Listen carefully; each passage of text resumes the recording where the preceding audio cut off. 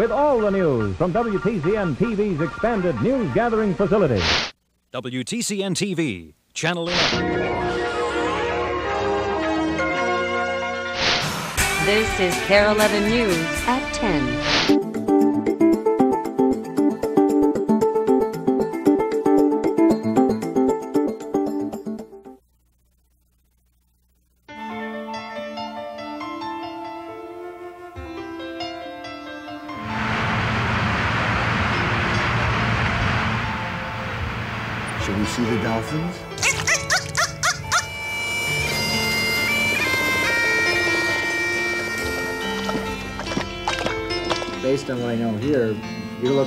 Looking at going to prison. And I like to do people stories, I like to do animal stories. I just like to put the camera on my shoulder and shoot.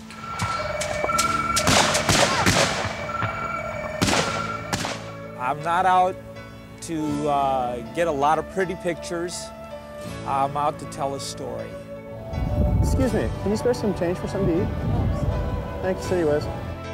And you don't always know who you're going to touch, but you're sure that somebody is going to feel something from it. Let me hold the elevator and say goodbye to you right here. In a lot of ways, it's like a, um, a miniature motion picture. All right, we're rolling. And speeding. Mike!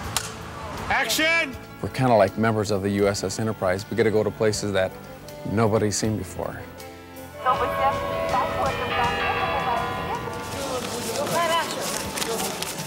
It's a fascinating, fascinating, fun job. Let's ride. Good evening.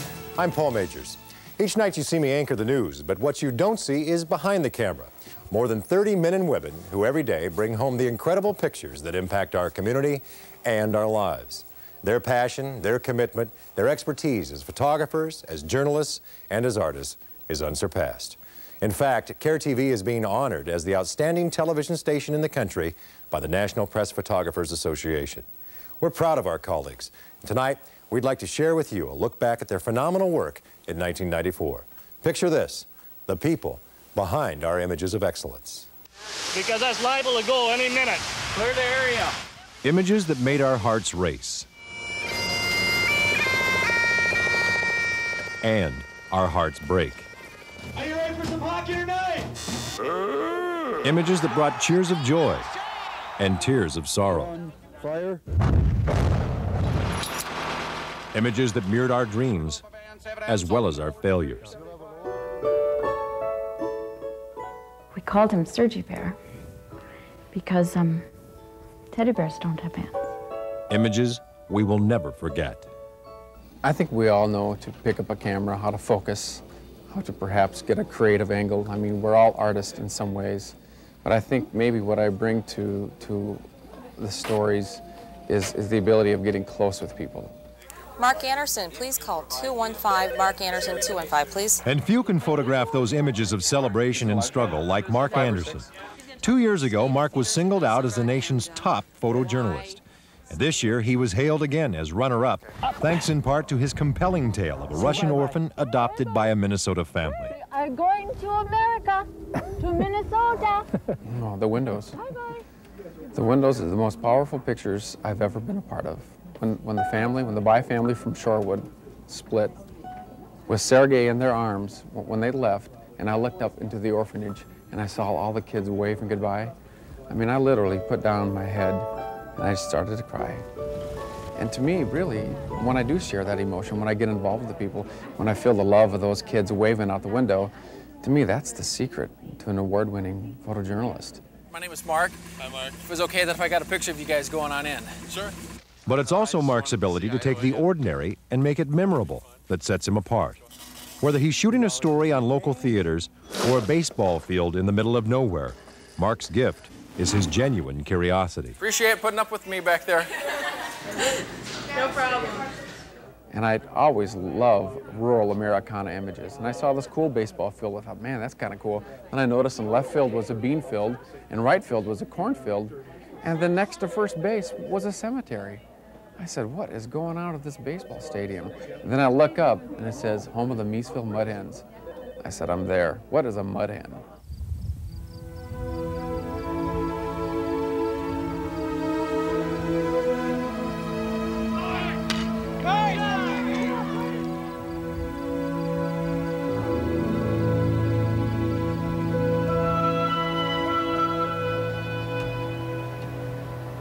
All is quiet along this stretch of Dakota County countryside. Nothing new with that. Miesville, Minnesota is mostly farm country. But on 20 nights, as the summer sun slowly sinks, the people of Miesville make a little noise.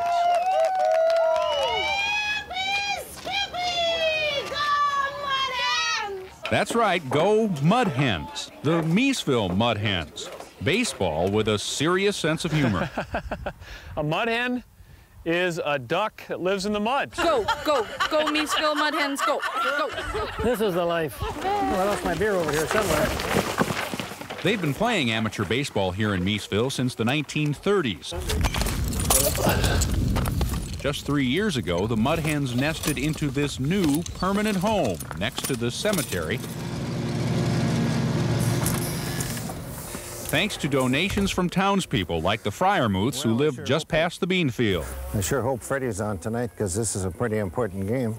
Well, I sure hope that Miesville smokes them tonight. A mud hen actually is, uh, it's a well, it's it's a it's a little black bird that that nobody wants to shoot when you're duck hunting. I'd be proud if my son was a mud hen. Damn proud. To have the notoriety of having a winning ball team, you know, means a lot to you know, because hey, how many people we got? 160 or something like that. There's six, 19, 20. Thank you. Hey, here's now Kobe. Hey, who's ready here? My dad played for the Mud Hens in uh, 61, early 60s. You can afford to come here. You, you get a can of beer for a buck and a half. Ball? You're just you're kind of lazy. Just get get your hands up farther and just throw it. I've watched the game since I was a little guy. Kind of was a bad boy, hung on the dugout when I was younger. I always wanted to play for him.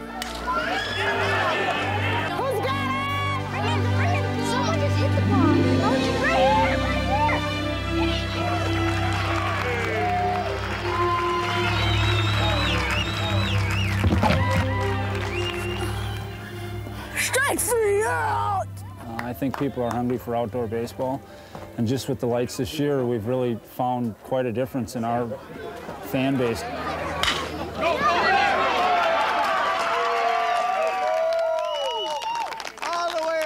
A small town, it's like come out here and play. It's a community where everybody wants to be known. You know, everybody knows, loves their baseball. Miesville Mud Hens, Jay Johnson, 40 years old, batting third. it's local guys, you know everybody, their first name, middle name, you know what they do, where they live, and say hi, and how's it going? You know, it's home, home stuff. Home stuff in a hometown that lives and dies by baseball. Eric Olson, KARE 11 News, Miesville. Picture this. The people behind our images of excellence will return in a moment. I love sound. There's a sound that goes with every picture. And the nice thing about it is most people don't notice because it sounds like it's supposed to sound.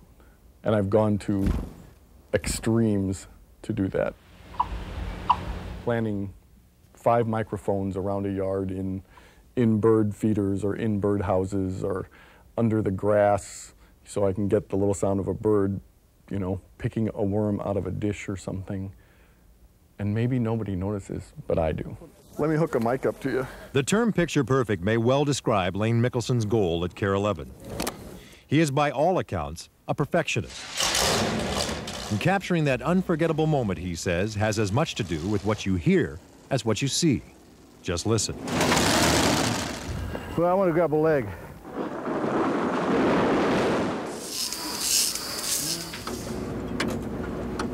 Regular ticking.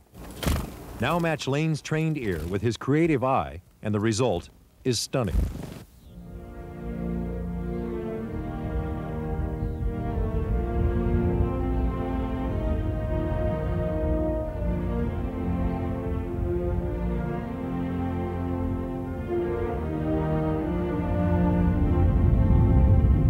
It's hard to believe this visual artist is colorblind. Considered totally colorblind because I see about 65% of the color that exists, but I don't see any color correctly.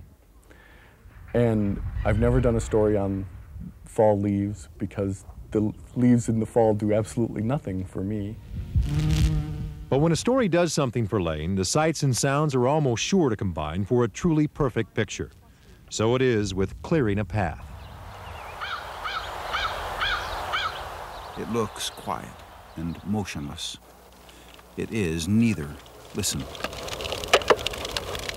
The ticking sound is that immense ice sheet grinding against shore ice. Listen again.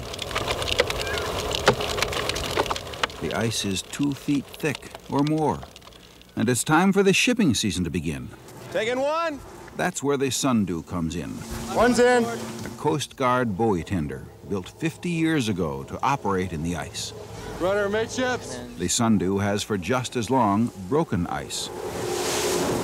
That rounded bow there is one and a quarter inches thick. We're almost ready for the horn. She weighs 1,020 tons. She broke out Duluth Harbor last week, did two days' work in a half day. Now she was to cut a path to two harbors, 22 miles through thick ice. And she had visitors aboard.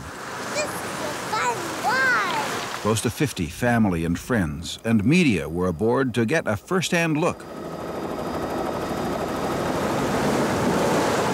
That's great. Unbelievable. But Commander John DeYoung was out to get work done too, and he had to remind his lookout, Watch for ice fishermen. ice fishermen. Commander John DeYoung was serious. There were no boats on Lake Superior, but there were anglers more than a mile from shore. The Sundew had broken a track six and a half miles long. It had been hard going, Ramming speed. and things didn't promise to be any easier. We uh, grind slowly to a stop, and uh, once we're completely stopped, we back up about three ship lengths, uh, put the pedal to the metal, and get some momentum up, and, and then uh, ram it. The ramming forces the ship's bow up on top of the 30 inch thick ice, and the weight of the ship breaks it. We haven't seen ice like this probably since the winter of 78, 79, when, when the lake froze completely over, and that, and that was the first time in 85 years that it did that. And big taconite carriers were scheduled to leave Duluth. Their masters wanted them loaded, heading through the locks at Sault Ste. Marie, Michigan, when the locks open Friday. And the Sundew had to open the first path, 22 miles long, through ice two feet thick. Big chunks of ice. It's awesome. Ken Speake, KARE 11 News on Lake Superior. That's the lucky thing for me to be the outdoor photographer is it's really hard to shoot ugly stories in Minnesota outdoors. I mean, you've already got a huge bonus. After many years as a news editor and photographer, Regina McCombs now works almost exclusively with reporter Ron Schara on KARE 11's Minnesota Bound segments. Whoa. She is a pioneer in a male-dominated industry, but says it's not her sex that sets her apart, but rather her attitudes about what makes a good story. You're ready to duck, Regina. Ron is a wonderful hunter and fisherman, and he loves that. I mean, that is what he really loves to do. And the other guys that have done this thing have also been hunters and fishermen, and so they loved that, and that's great. And I mean, I think that's part of it. I mean, that's obviously a big part of what Minnesotans like to do outside, but I don't think it's the only thing. And I tend to be more interested in some of the other things, the biking and the, you know, rollerblading or canoeing or camping. Or kayaking. It was Regina's influence that gave us a sea level perspective of the spectacular North Shore.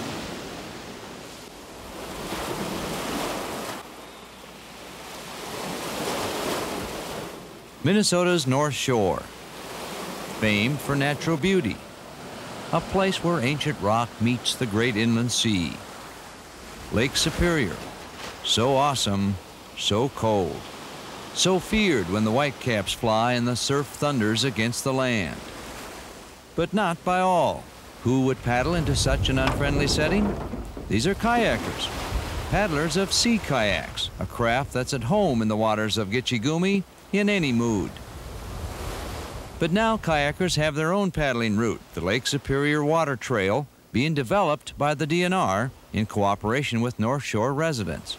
Right now, we've just developed a, a pilot section of the trail, a pilot area, and it uh, goes from Gooseberry Falls State Park to Tettegouche State Park, about a 20-mile segment of the, of the shoreline. Kayakers say being intimate with such a huge sea gives mixed emotions. I just enjoy the water. I mean, you get to a point where the water gets rough enough where you get a little bit uh, intimidated and fearful, and that's probably good. Uh, I really enjoy it because I feel like I'm part of the lake, and you feel the energy of the lake, and uh, you see the other paddles rising and falling with you, and it's uh, it's a real exhilarating experience. I'm Ron Schara, Minnesota Bound. Part of my goal with Minnesota Bound is to take people there or experience something new or whatever. Those mountain bike trails those guys were on, I can't do it. Gaffers tape a little camera on there and ask a guy to carry the pack on his back and take it along, and then he can show you what it's like to ride those trails and crank up those hills. As you can see, it's very bumpy. That's why shocks come in handy. Those unique camera angles have become a KARE 11 trademark. We got fire in the attic. Command, this is Squad 1. We've got fire in the attic. We need somebody to open up the roof. The first part of the story, we mounted cameras on uh, firefighters' helmets to uh, get the unique perspective of, of what it's like to be inside a fire. Squad 1, give us water. Photographer Dave Dennison actually lived with the St. Paul firefighters for two weeks for his series, Get Out Alive. And with his five photographer crew, strategically placed nine cameras in a vacant house that was then set ablaze by the St. Paul Fire Department. This remarkable footage is so dramatic it won first place in the National Press Photographer's in-depth category. But more importantly, Get Out Alive is now being used as a teaching tool by fire officials all over the world. It, uh, I think, gave people a real new respect for what it's about. And I think if people have a house fire who have seen this story, they will get out of the house.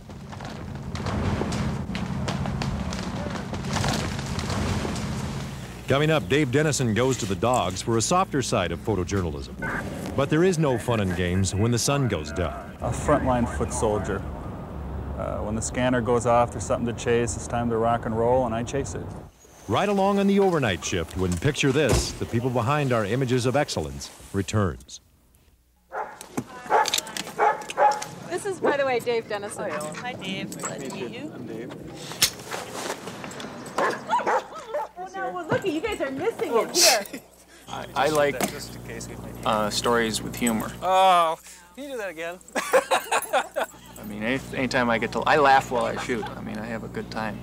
And Dave may appreciate the sound of laughter or any sound more than most of us. The star photojournalist suffers from as much as 65% hearing loss. But true to his optimistic spirit, it's that same disability that has brought him success. I've learned not to take sound for granted. So even though I don't hear very well, I think it forces me to be more disciplined in how I gather sound as far as my interviews with people or, or uh, just the sound of the shovel scraping along the dirt. I always want to give people a feeling for what it's like to be there, and you don't want, and sound is, is part of it. Sound is such a huge part of what we do. Good boy.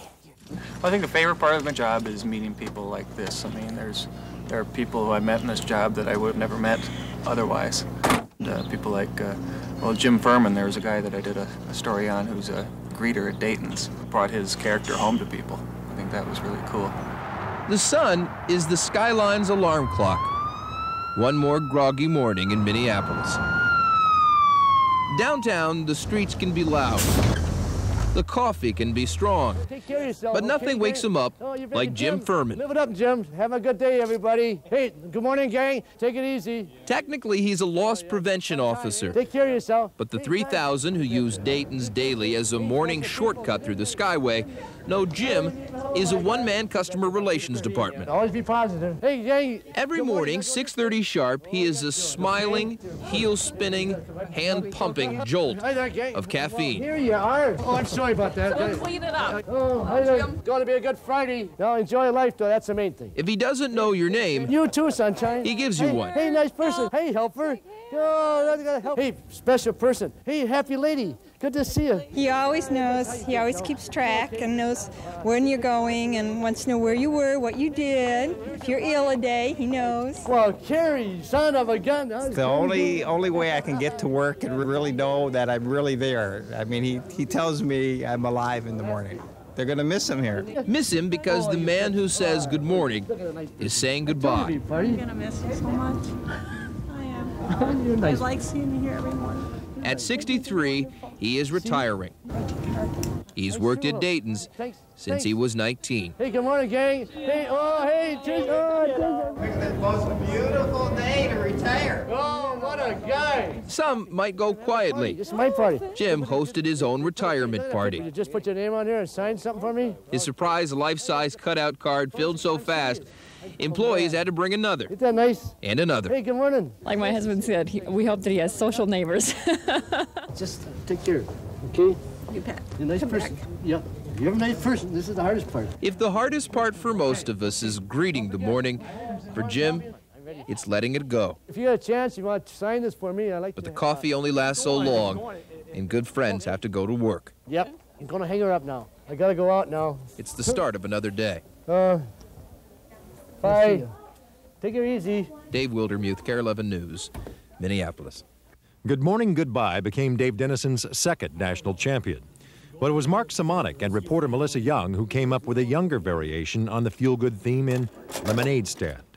I think when you think of places like Rwanda and other places like that, you, you, they're across the ocean, they're far, far away, they don't really touch you. But when you see 8, 9, 10, 11 year old kids doing something, even if it's 300 bucks that they're going to raise, doing something for somebody they have no contact with or no idea how bad conditions are, you, you- it really hits home. You think, well, what can I do?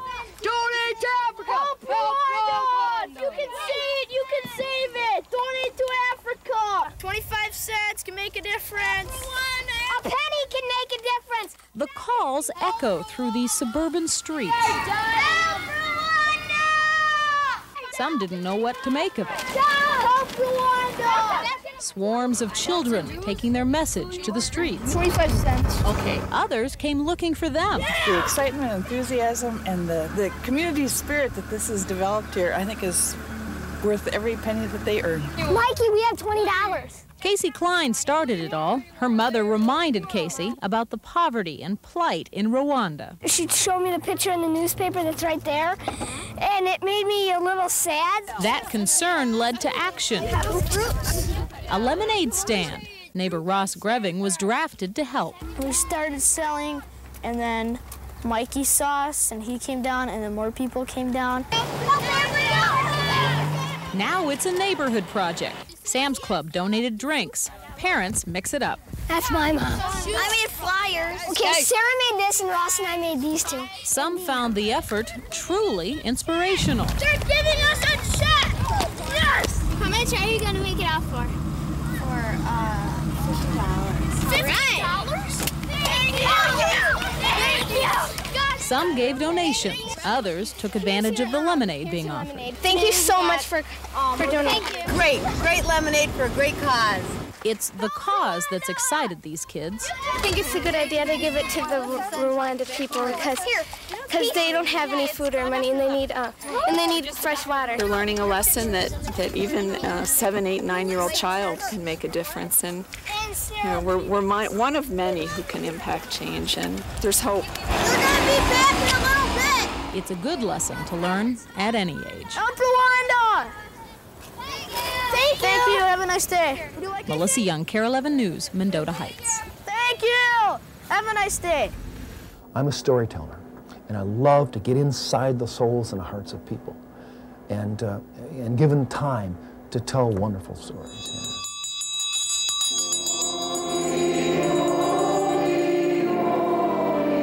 When I was in the sixth grade, I wanted to be a sister, but I never wanted anybody to know it. And if anybody say, are you going to be a sister? I say, be a sister? A very special place reflects that philosophy. It is a poignant, seldom seen glimpse inside the walls of the hallowed Bethany Convent. Thank you ever so much. When were you born? Tell us the year. A couple of years ago.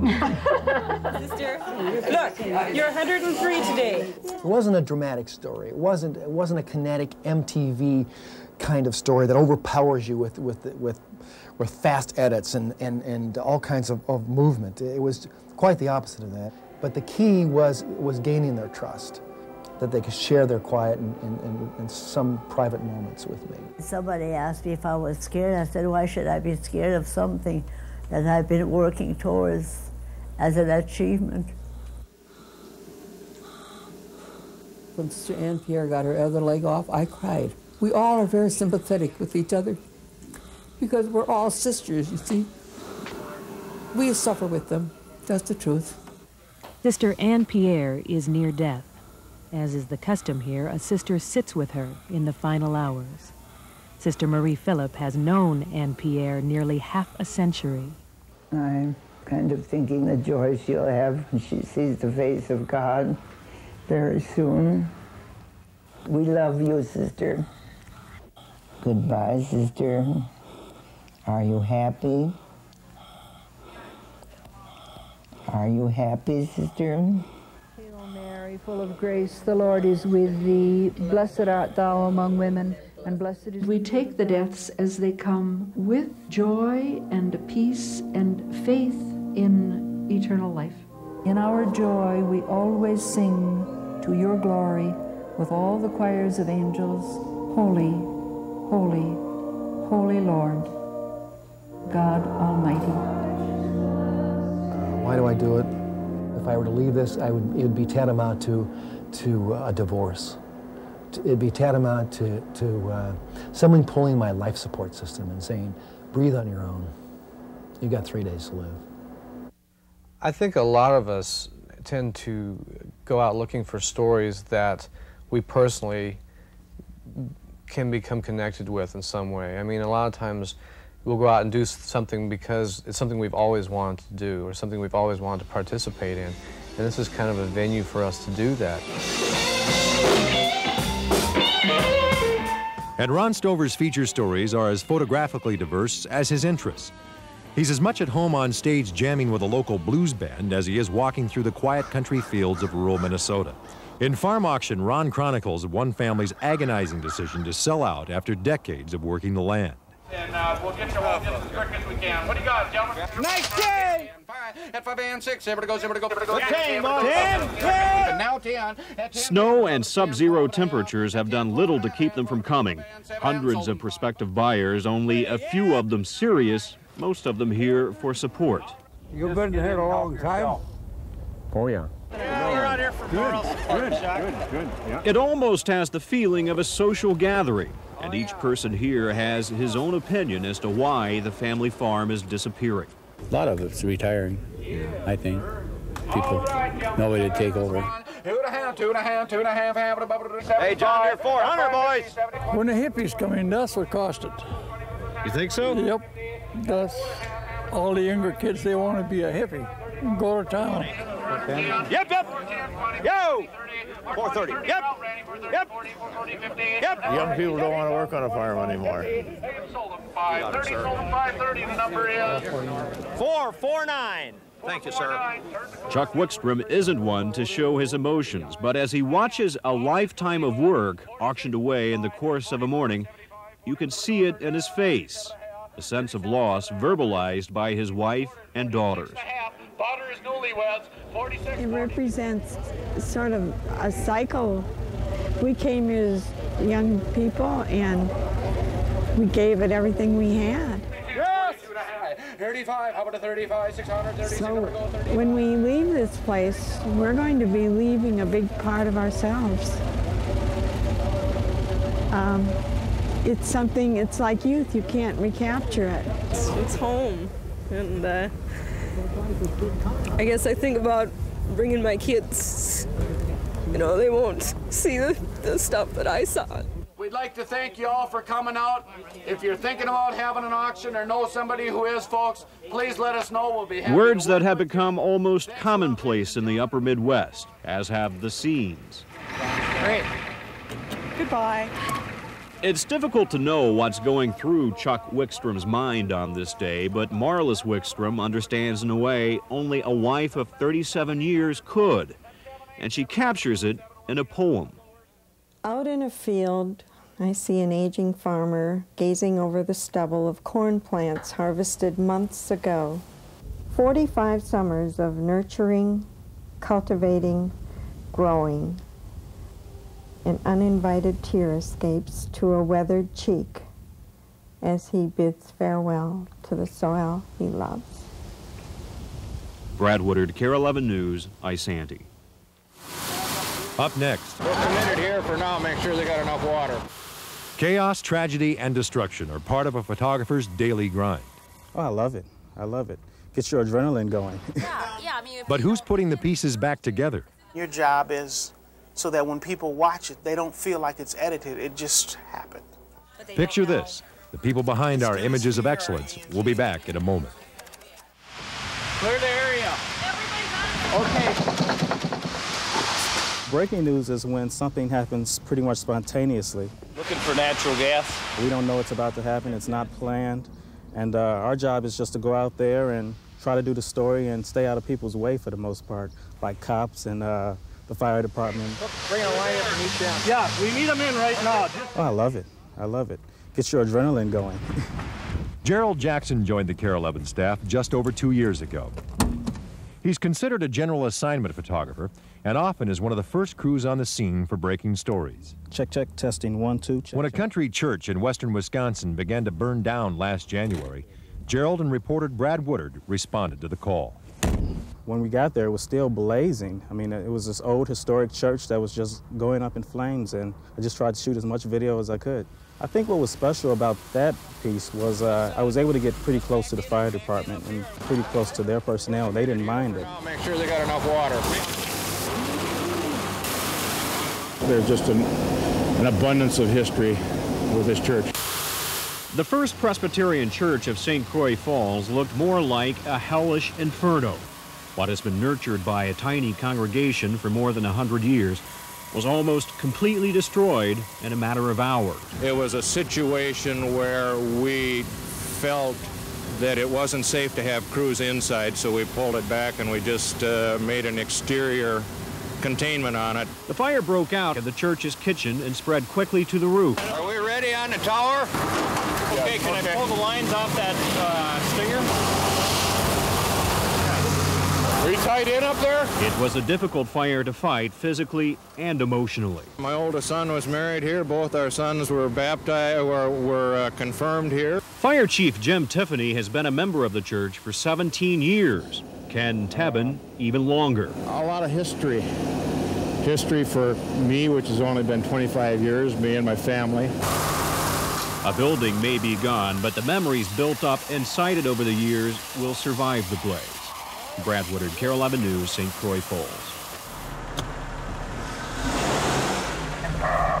Nightside Mr. Homicide. Dispatcher, they just requested you code 2. If you ride the night shift, you're really in the hot seat of Twin Cities crime. No news is good news because when there's no news, nobody got shot, stabbed, nobody's house burned down, and bad things didn't happen. And that's a good night. Lee Wall is the lone photographer between midnight and sunup for KARE 11. Engine 16, 10 4. It's very isolated. You don't uh, you don't see your coworkers. You don't know what's going on in the station, and you don't know what's going on in the day world. Uh, it says shots fired call. Is that how this came down? Oh, it's very dangerous. Uh, you, you're always watching what's going on around you. Uh, when you arrive at a crime scene, if there's not officers out and about, you don't get out and about. There are crime scenes where people are very upset that you're there, and some of the people have weapons and say that they're going to do you right there, and I believe them.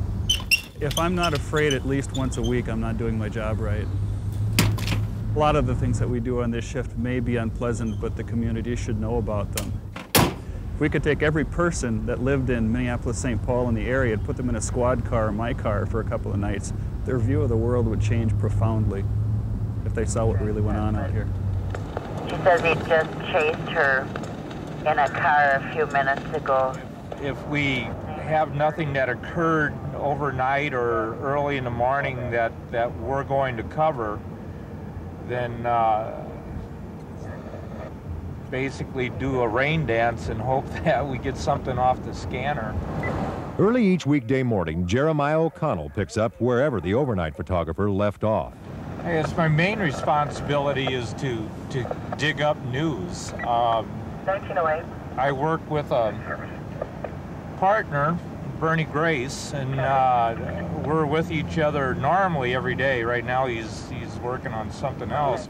I'll be 10-7 downtown City Hall. Uh, we're not assigned a story. We go out and we have to find our story. Mainly our, our beat is a crime beat. Start our morning out where we'll go down and check the computer to find out what happened uh, of any interest in the city of Minneapolis. Sunny. Here I am.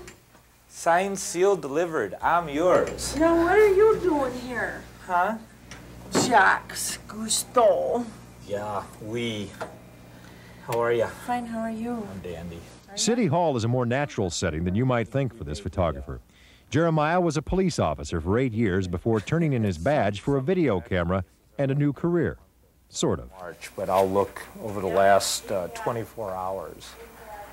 And um, if something jumps out at me, then go into the computer and uh, see what the narrative is on it.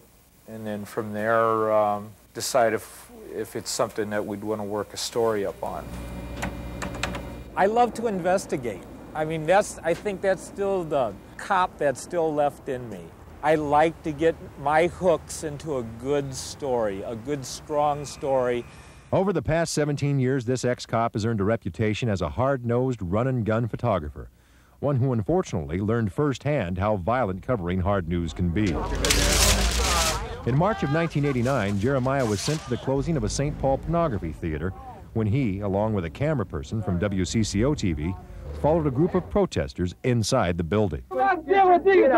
People were pretty upset with us being in there and uh, told us to get those cameras off. And so I, I complied at that point. Cameras off, get out. Two guys grabbed me that were working at the theater, ran me down a hallway, slammed me into a wall, spun me around, punched me in the nose. I was bitten.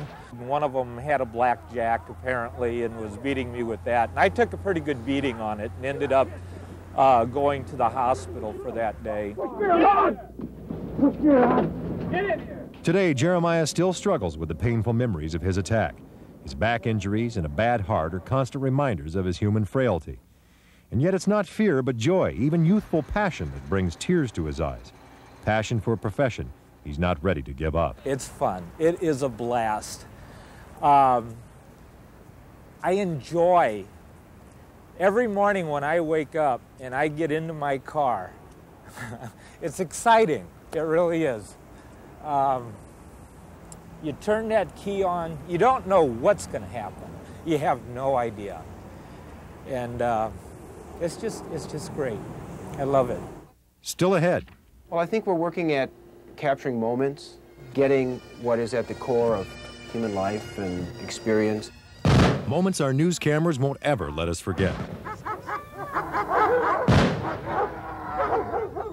When picture this, the people behind our images of excellence comes right back. Send down chief editor for KARE News, um, kind of like an, um, a traffic cop between I thought that was a tape. promotion, uh, engineering, news, and production. Kind of like a guy standing in the road trying to direct planes to go left when they want to go right. To try to keep all that chaos from getting on the air, to make the air go smooth. The, the, the real job of any editor is to not be felt. It's called Special Open 6 o'clock. Before video makes it to your television screen at home, it's the job of Ray and every editor to take the tape from photographers, choose the best pictures, and put them back together in an order that makes sense and tells a story. I think a lot of them still think that we actually physically cut the tape, but it's all electronic. Take some of this petri dish.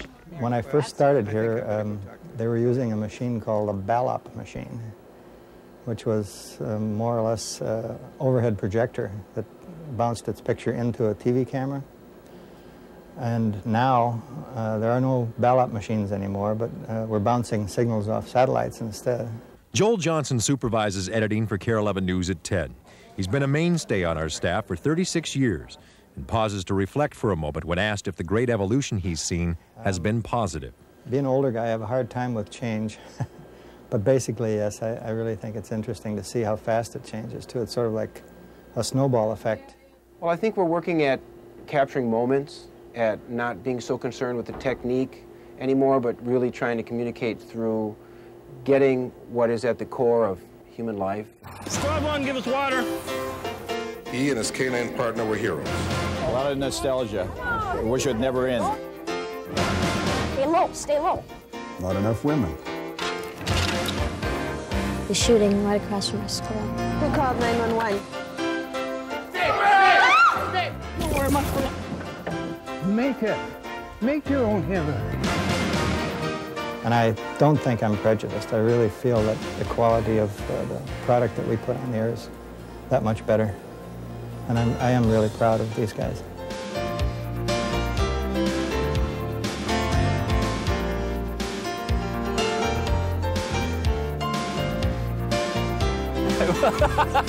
Thanks, Lane.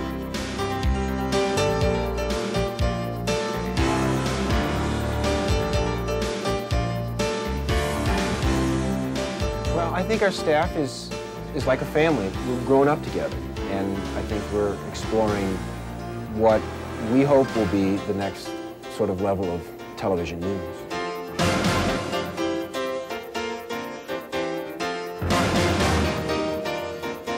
What I am most proud of is that there's still a point when we do it right, when we really commit ourselves to positive principles, and that is to inform, to enlighten, to highlight things. When we really do that, then I think we serve people. And whenever you serve people and you do it in a positive way, you should be proud of that.